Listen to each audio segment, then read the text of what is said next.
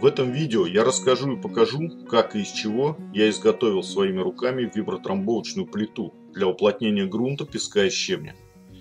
На любой стройке, где присутствуют земляные работы, возникает необходимость в такой машине. Вот и у нас наступил момент X. В мастерской решено было сделать полы по грунту с интегрированным водяным отоплением, а следовательно предстояло утрамбовать приличный слой песка и щебня. Брать трамбовку в аренду посчитали невыгодным так как в процессе стройки она потребуется много-много раз. Купить стоило дорого. Что ж, решил сделаю сам, не привыкать. Закупил подходящий материал, как обычно на базе металлолома и взялся за дело. Подошву плиты вырезал из 9-мм стального листа, а чтобы загнуть края, болгаркой сделал по два параллельных надреза, до половины толщины листа. Согнул по ним до нужного угла и заварил прорези и зачистил швы. Верхнюю плиту изготовил из двух кусков швеллера, сварив их между собой и подрезал по форме плиты. В нее же вварил болты крепления вибромотора, а позже и гайки для установки опоры ручкой управления.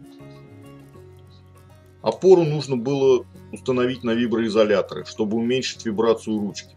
Порывшись в хозяйстве, нашел связку саленблоков от москвича. Их решил использовать. В образовавшуюся полость между подошвой и верхней плитой заложил около 10 килограммов обрезков металла для увеличения веса и закрепил их сваркой. Далее из 14 швеллера вырезал заготовку для опоры ручки управления, зачистил и, наконец, собрав все вместе, покрасил.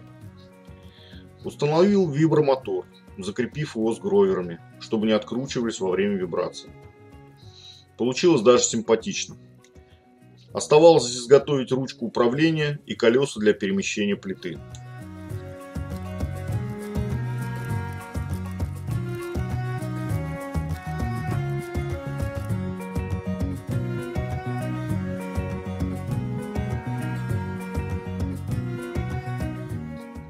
На ручку пошел отрезок тонкостенной профильной трубы 40 на 40. В нижнюю часть вварил кусок 32 трубы, в нее отлично входил резиновый сайлентблок, а вверху кусок 20 для ручек управления. Прорезал отверстие для установки выключателя и приварил два крюка в качестве мотовила, чтобы скручивать сетевой кабель. При подключении электропроводки выяснилось, что родного кабеля вибромотора в 1 метр не хватает. Пришлось наращивать 30 сантиметров.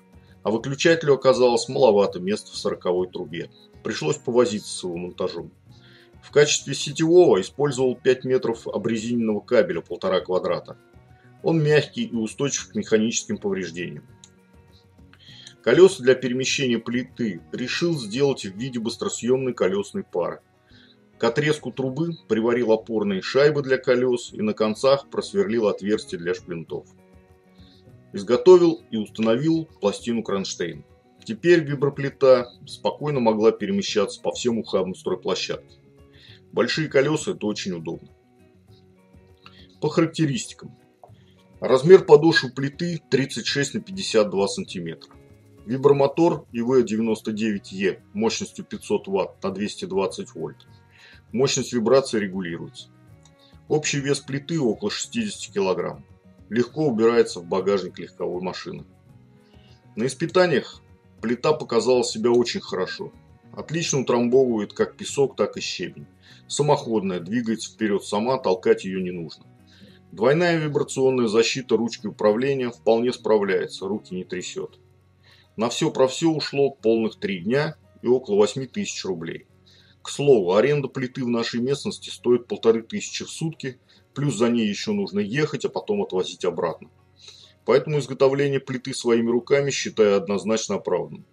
Надеюсь, мой пример поможет кому-то из зрителей нашего канала и вдохновит повторить наш опыт. К сожалению, при уплотнении песчаной подушки под основание фундамента нашего тяжелого дома я посчитал, что мощности и веса данной плиты недостаточно. Нужна плита посерьезнее. И, конечно же, я решил изготовить ее сам. Очень скоро на нашем канале выйдет ролик об изготовлении своими руками тяжелой корпусной виброплиты, вибрация которой не давала отдохнуть соседям в домах через дорогу за 150 метров от нашего участка. Обязательно подпишитесь, чтобы не пропустить. Кому понравилось это видео, ставьте лайк, кому не понравилось, дизлайк. Вопросы пишите в комментариях и до новых встреч.